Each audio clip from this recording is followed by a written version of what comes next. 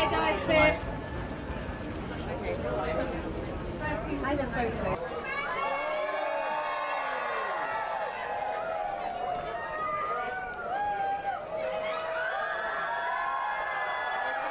Okay, guys, can we stop it there, boys? Stop it there, stop it there. Okay, nice and close together, boys. Someone else step. Do you want to come in as well? Come in, that's it. Okay, guys, do straight ahead for me, please. Straight ahead. Yeah.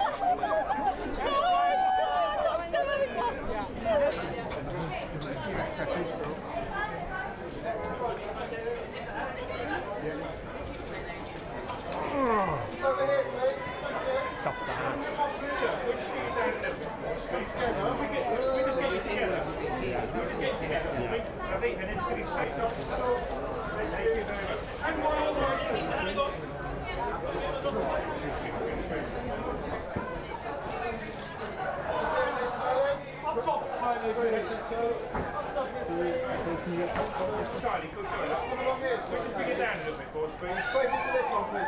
Thank you. And then just to your right, please. To the front. Kylie, to your right. Kylie. World.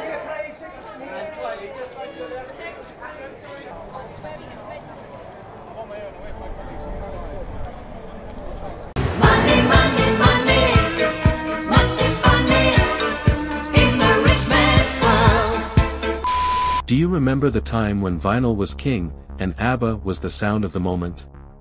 Four voices from Sweden echoed around the world, and then, silence. But what happened to ABBA after the spotlight faded? We are here to unravel this story, from the grand moments to the backstage, from challenges to glory days, in an exciting journey about one of the most iconic bands in the world. It's the true saga of ABBA, with details you've never heard before. The answer to all of this begins now. Over four decades ago, Sweden witnessed the birth of one of the musical groups that would become a global icon, ABBA. Their rise to worldwide stardom came with a spectacular victory at the 1974 Eurovision Song Contest with the song Waterloo.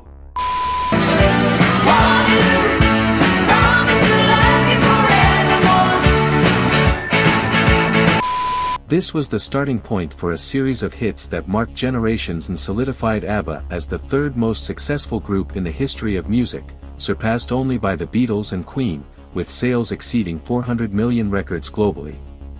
However, despite immense success, ABBA faced internal turmoil. Personal relationships within the group suffered from conflicts and infidelities, eventually leading to the band's breakup. My, my, Mamma mia, does it show again? The consequences of these scandals affected everyone and became public 40 years ago. Before forming ABBA in 1966, at the age of 19, Benny Andersson already demonstrated his talent on the keyboard with the Hep Stars, considered the Swedish Beatles. At a summer event, Benny met Bjorn, a 21-year-old member of the Hootenanny Singers, a group focused on folk music. Together, they started composing, creating songs like Isn't It Easy to Say, performed by the Hep Stars.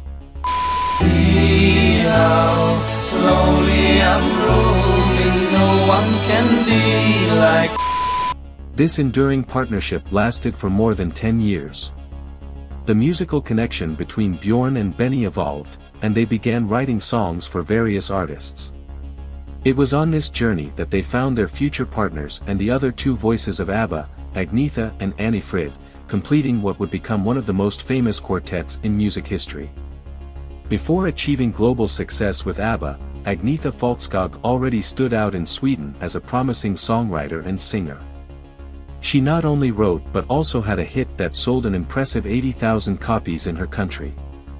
Competing in a Swedish festival, Agnetha sought her place in Eurovision, and even though she didn't reach the final, she didn't stop succeeding, moving towards becoming a Swedish pop star. Agnetha's journey took an even more exciting turn when, backstage at a show, she met Bjorn Ulvaeus. The encounter resulted in a love story, and in 1971, they sealed their union in marriage. Bjorn, in a BBC documentary in 2013, recalled how impactful it was to hear Agnetha for the first time, being amazed by her being a songwriter at a time when that was not common. And so, the story of ABBA unfolds, with all its twists and turns, from the heights of success to the depths of challenges. It was rare among young female singers. The couple, besides sharing their personal life, shared the dream of shining internationally, a dream fueled by the possibilities offered by Eurovision, where they began participating with their songs in 1969. In the same festival scene, Benny Andersson was enchanted by Anni-Frid Lyngstad, known as Frida, who already enjoyed a solo career. Frida's story is a saga of overcoming challenges. Born in German-occupied Norway in 1945, she came into the world amid war, the result of a forbidden love between her mother and a German soldier. As a baby, Frida came to Sweden, and after her mother's premature death, she was raised by her grandmother. Chiquitita, you and I know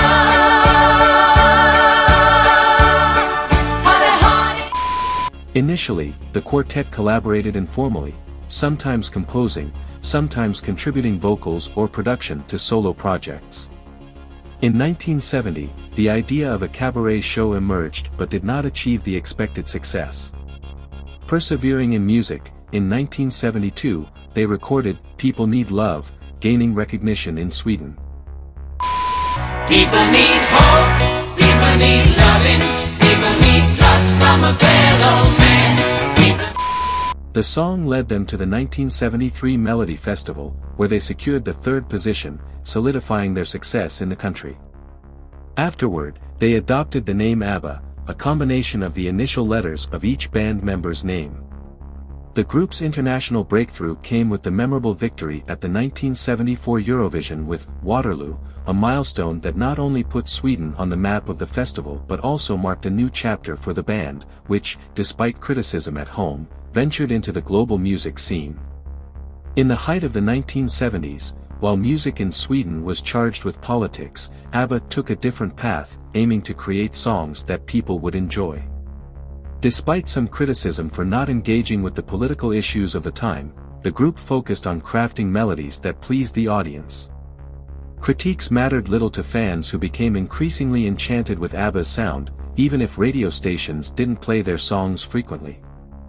This led many to buy records to enjoy the songs at home, ultimately helping the group sell more.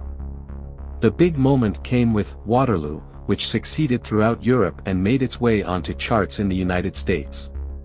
After winning Eurovision, many wondered if ABBA would be a fleeting success. However, it didn't take long for them to prove otherwise with the release of the Greatest Hits album and another called ABBA, featuring well-known songs like I Do, I Do, I Do, and Mamma Mia. Give me, give me, give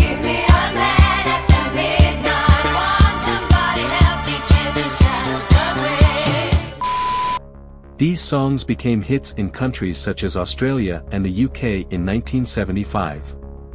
Following these, came other major successes like Fernando and Dancing Queen, the latter reaching number one in the USA.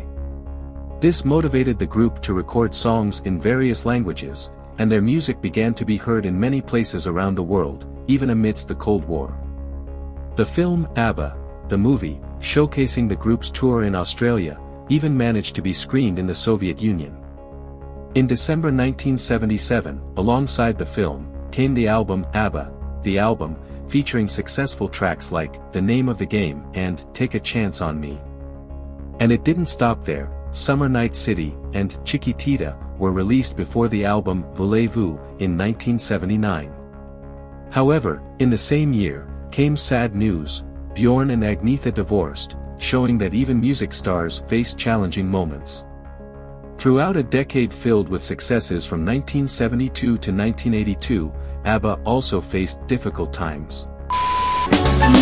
Where they play the right music, getting in the swing, you come to look for a king. The divorces among the members shook the image of the ideal couples they projected. Agnetha and Bjorn got married in 1971 and had two children, sharing the joy of ABBA's success. However, after seven intense years of touring, the stress began to weigh on the marriage. Agnetha deeply missed her children and developed a profound fear of crowds, noise, open spaces, and flying. Rumors about her husband's love life also circulated in the press, with speculations about various romances. The pressure culminated in the couple's separation in 1979. Subsequently, Agnetha, dealing with the pain of separation and the challenge of going solo, faced a period of therapy, which, at the time, caused scandal. After the divorce, Bjorn took the spotlight when, just a week after the separation, he was already involved with someone else, a Swedish presenter named Linnér, whom he married two years later. In a heartfelt statement, Agnetha expressed the pain caused by the divorce and how it affected her that Bjorn moved on so quickly. She also confessed that the idea of facing life alone was daunting, and she was devastated when she learned he had moved on so fast.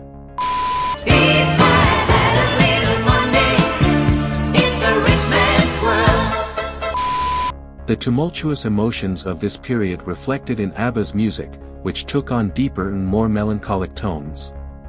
One of these songs, The Winner Takes It All, raised questions among fans, wondering if it was cruel for Bjorn to ask Agnetha to sing lyrics like, Tell me, does she kiss like I used to kiss you? And now I ask you, who's following this entire story, was Bjorn cruel when he asked Agnetha to sing this song after everything she went through? Tell me in the comments. By February 1981, the facade of ABBA's perfect couples crumbled when Benny and Frida announced their separation. They had known each other and lived together since the late 60s but only got married in 1978, the divorce came three years later. Shortly after the split, Benny married a television producer, a union that some saw as a reason for his previous divorce. In a statement to the Swedish newspaper, Expressen, in 1981, Benny said, I don't know how other people deal with it. Frida and I are friends, and I remain in ABBA. We maintain a good friendship, despite our marriage ending. We decided to keep the group together for the music, despite everything that happened. In late 1979, ABBA had everyone dancing with the release of Gimme, Gimme, Gimme. Give me,